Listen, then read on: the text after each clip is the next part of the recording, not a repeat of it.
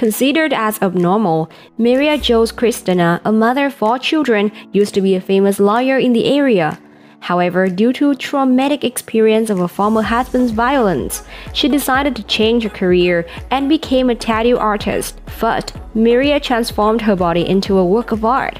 90% of her body is tattooed, with piercings full of her face, sharpening teeth, injecting silicone under the skin, and dusting hair.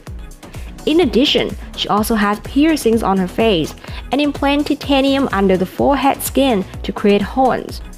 Marius even asked the dentist to implant canine to help her get a whole new look, but only help her get a normal life.